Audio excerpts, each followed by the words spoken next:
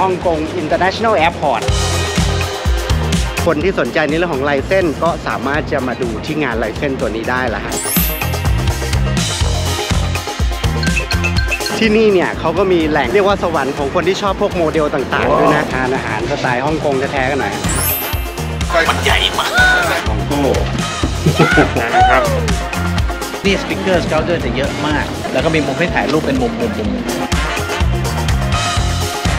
สวัสดีครับ สวัสดีจาก ฮ่องกงนะครับ วันนี้เนี่ยมาฮ่องกงที่ฮ่องกง Exhibition Center นะฮะ เราจะมาดูในเรื่องของการทำ licensing กันนะครับ หลายๆคนจะเห็นว่าตัวคาแรคเตอร์ต่างๆ ที่เอาไปลงในสินค้าต่างๆ ไม่ว่าจะเป็นเสื้อแก้วจุดกำเนิดเนี่ยเราต้องมาซื้อลายเส้นแล้วก็ไปทำธุรกิจที่เมืองไทยนะ ในเรื่องของการรวมตัวในระดับของเอเชียเนี่ยส่วนมากก็จะเกิดขึ้นที่ฮ่องกงเนี่ยแหละครับคนที่สนใจในเรื่องของลายเส้นก็สามารถจะมาดูที่งานลายเส้นตัวนี้ได้ละฮะซึ่งก็อยู่ที่ Exhibition Center อยู่ข้างหลังนี่เองนะฮะเกาะฮ่องกงนะฮะแล้วก็อาคารเนี้ยจะยื่นออกมาในอ่าววิกตอเรียนะครับอ่าอาคารเนี้ยถูกออกแบบมาให้เป็นทรงเต่านะเป็นฮวงจุ้ยของทางศาสตร์ของทางจีนนะเราจะเห็นว่าทางด้านนั้นคือ Bank of China เห็นเป็นรูปดาบไหมฮะฮ่องกงนี่ถือว่าเป็นดินแดนยอดยุทธทางด้านฮวงจุ้ยเลยนะครับ อย่างตึก Bank of China ก็มีการออกแบบให้เป็นรูปใบมีด ตึก HSBC ที่อยู่ข้างๆ ก็เลยสร้างเครนเป็นรูปปืนใหญ่ขึ้นมาต่อสู้ ซึ่งต่อมาก็มีการฟ้องร้องกัน แล้ว HSBC ก็เลยบอกว่ามันเป็นเครนไม่ใช่ปืนใหญ่ แหม แต่ดูยังไงก็เหมือนปากกระบอกปืนใหญ่อยู่ดีนั่นแหละครับ ก็เดี๋ยวเราขึ้นไปดูฮะงานจัดอยู่ข้างบนนั่นแหละครับ เดี๋ยวเราเดินขึ้นไป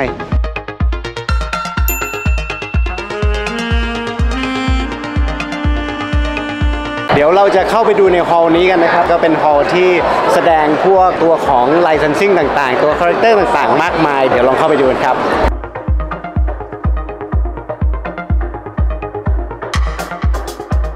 อันนี้เป็นของค่าย Media Link นะครับ ถ้าอยู่ในวงการพวก licensing น่าจะรู้จักกันดีนะ Sesame Street อย่างเงี้ยนะฮะ หลายๆคนก็คงจะรู้จัก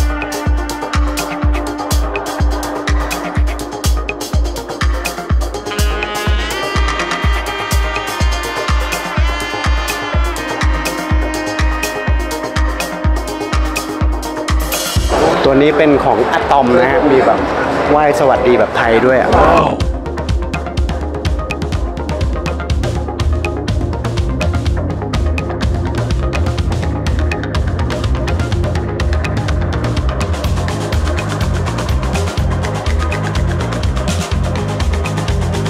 มีคาแรคเตอร์แบบที่เป็นจากค่ายภาพยนตร์ด้วยนะครับ อย่างนี้เป็นของ Paramount นะ ตรงนี้เป็นสายของญี่ปุ่นนะครับ Creative Japan นะ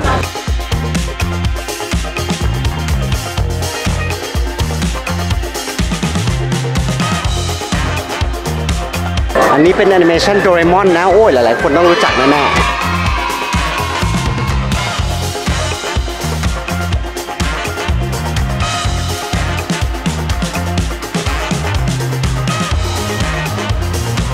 เขาก็ ก็มีการพัฒนาของแต่ละคาแรคเตอร์ตามยุคตามสมัยไปเรื่อยๆนะอุลตร้าแมนเองก็มีลำดับขั้นตอนนะมีแต่ละยุคแต่ละยุค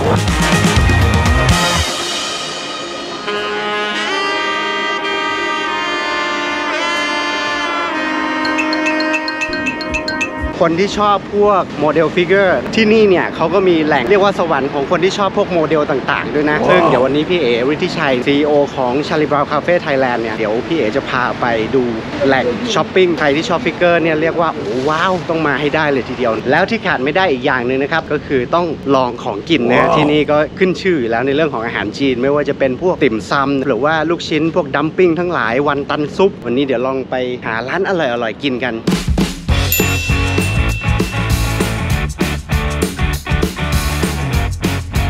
ลองมาทานอาหารสไตล์ฮ่องกงแท้ๆกันหน่อยฮะ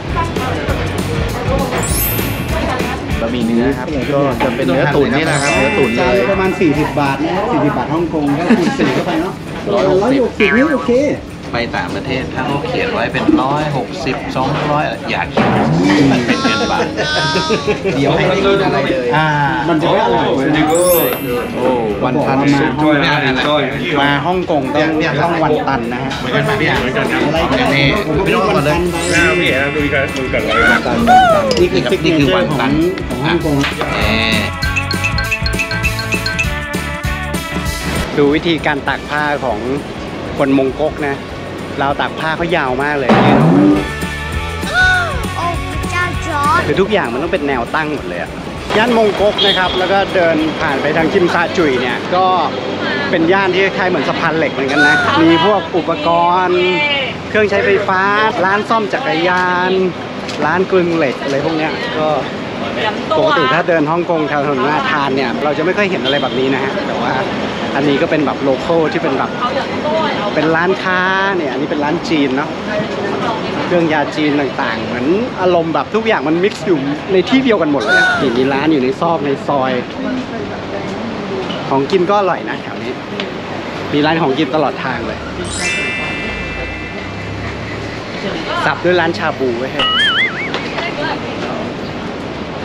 แล้วก็มาเป็นร้านแบบายอะไรก็ไม่รู้อะ อันนี้ขายห้องเช่า โอ้ยผ่านร้านนี้อาซีมาร์ดูรถเขาไว้ก่อนอืมเขียนดิว่า เฟนเดอร์ ว้าว ไม่มีปัญญาซื้ออะซื้ออย่างนี้แล้ววะ อันนี้ใหญ่เหลือเกิน มีรถคิตตี้ด้วย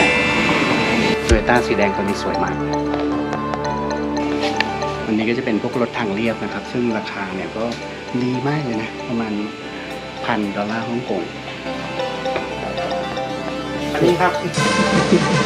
หนึ่งเก้าห้าศูนย์ครับแปดพันกว่าบาทอะเขาไม่ถึงหมื่นนะ ก็ก็ยังถือว่าปีไปห้าบาทเลยอะถ้าถ้าถ้าเป็นบ้านเราก็น่าจะถึงหมื่นแปดหมื่นแล้วนะ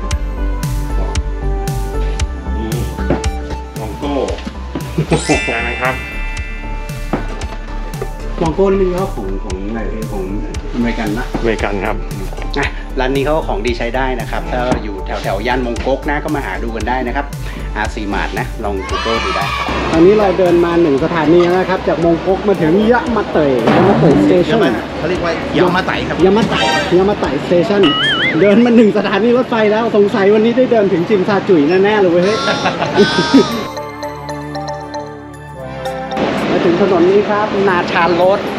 มาฮ่องกงมาไม่ถึงถนนนี้มาไม่ถึงฮ่องกงนะของของแบรนด์นะจะอยู่ถนนเส้นนี้ รถเมล์สองชั้นก็แน่นอนว่าก็เป็นอีกไอคอนหนึ่งของฮ่องกงนะฮะเรียกว่าได้รูปแบบมาจากรถเมล์ red bus ของที่อังกฤษที่คุณบ้างไหมอันนี้เราจะไปไหนกันครับเนี่ยอ่าไปตึก In's Point เป็นตึกที่ขาย figurine เยอะๆครับร้านขายเป็นฟิกพวเกกอรีฟินกหมเกดอเลยรีนของเล่นของอะไรพวกนี้อ่าน่าสนใจใครที่สะสมของพวกนี้นะก็แนะนำ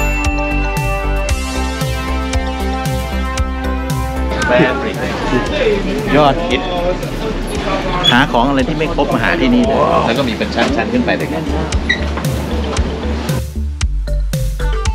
หนึ่งเคสองเนี่ยคือมันเป็นตู้ฝากขายนะครับเอาเหรอครับอ้าวแล้วถ้าสนใจทำไงก็จะมีคนคอยดูแลให้ก็ก็เจ้าของร้านอาจจะเป็นเจ้าของร้านที่อยู่ทางนี้ แล้วก็ให้เช่าตู้อันนี้เราเรียกว่ารีเบน รีเบนคือชุดย่อส่วน แต่เป็นสนุปปี้รีเบนพีนัทแต่ว่าเป็นชุดคาเฟ่ทีวีจอ LCD เครื่องเรย์มีเพื่อนเคยมาหิ้วของอย่างเงี้ยบอกถูกสุดแล้วในเอเชียเขาบอกนี้นะถูกอีกแต่นี่มันคือ made in Japan ใช่ไหมของใช่ครับอันนี้จะเป็นจะเห็นว่ามันเป็นรถสเกลแปลกนิดหนึ่งนะฮะแต่เป็นยี่ห้อไทนี่ไทนี่เนี่ยเป็นของฮ่องกงแล้วเขาก็จะทำรถซีรีส์นะที่เป็นเหมือนอยู่ในฮ่องกงทั้งหมดเนี่ยจะต่างกับโจมี่ทาคาร่า อ่าตรงนี้จะเป็นรถของญี่ปุ่นใช่ไหมครับสเกลเนี่ยต่างกันนิด อันนี้จะใหญ่กว่าอ๋อความละเอียดละเอียดกว่า แต่อันนี้เนี่ยคือหลากหลายกว่า นี่คือ SD พอทำแล้วมันน่ารัก อืมดีกลุ่มนี้จะเป็นกลุ่มเขาเรียกว่าหุ่นเหล็ก อืมเลยครับอืมอืมอันนี้ยังขาดตัวหนึ่งไป ขาดเทสเตอร์วันเขาทำออกมาเนี่ยก็จะทำออกมาเป็นซีรีส์เลย อืม เพราะเนี่ยเป็นหนังเป็นเรื่องแอเล่นนิเมะญี่ปุ่นหมดเลยห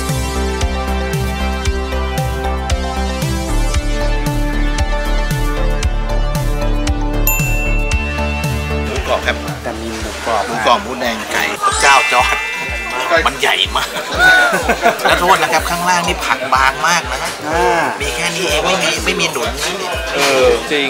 ไม่มีหนุนเลย และอันนี้อันนี้ก็เป็นบาร์บีคิวบาร์บีคิวอันนี้ก็คือคือหมูแดงฉ่ำอะฉ่มีซื่อมากำส่วนนี้ก็เป็นผักน่าจะเป็นคะน้าแบบว่า คณะฮ่องกงเอง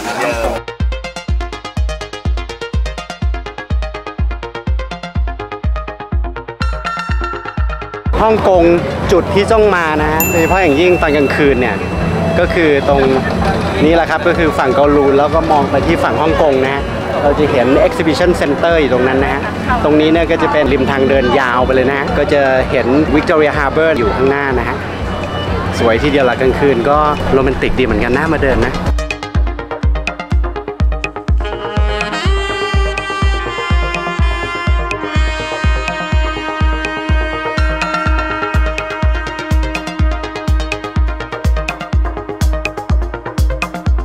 ที่นี่สปิเกอร์สเกลเตอร์จะเยอะมาก แล้วก็มีมุมให้ถ่ายรูปเป็นมุมมุมมุม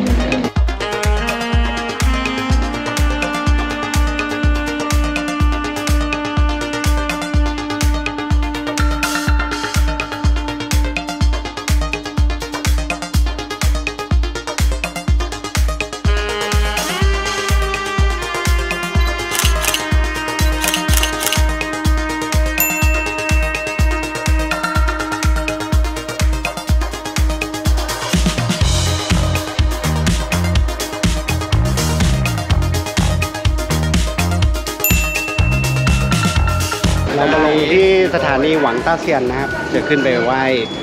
พระนะฮะที่วัดนี่แหละฮะหวังต้าเซียน เจอของชอบแล้วครับ อย่างหนึ่งที่ชอบมากๆเลยของฮ่องกงก็คือน้ำเก๊กฮวย UST มีมานานมากแล้วส่วนใหญ่ผสมน้ำผึ้งนะ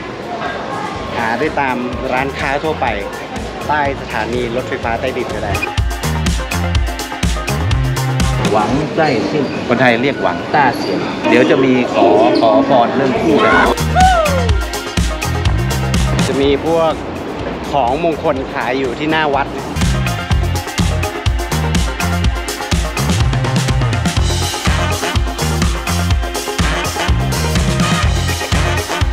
ตรงนี้เป็นปีนักกษัตริย์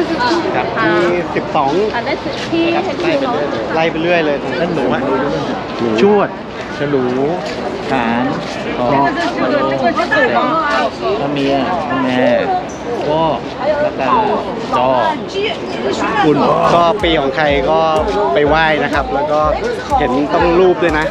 ก่อนขอพรพี่นกไปทำอะไรมาฮะในออฟฟิศนี้ ผมไปบริจาคเงินบริจาคอ๋อนี่ไปผมไปบริจาคเงิน อันนี้เหมือนอนุโมทนาบัตรเข้าใจว่าอย่างนั้น เอาไปลดภาษีได้ไหมพี่ น่าจะได้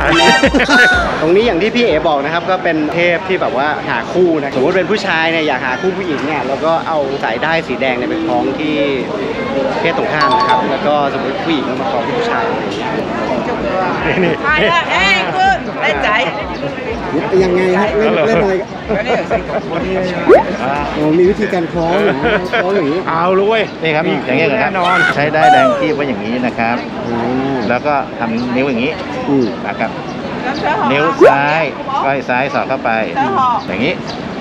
ได้แล้วใช่ละได้ใจอะถูกไหมถูกไหมถูก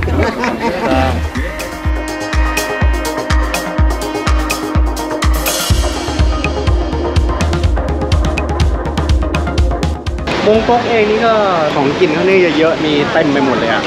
เป็นย่านที่ดูมีชีวิตชีวาเนาะมีทั้งร้านหรูๆแล้วก็ร้านที่เป็นแบบสตรีทฟู้ดนะฮะแล้วก็พวกร้านขายรองเท้าที่วัยรุ่นชอบ อย่างอันนี้เป็นร้านเป็ดหมูแดง ร้านซาลาเปานะ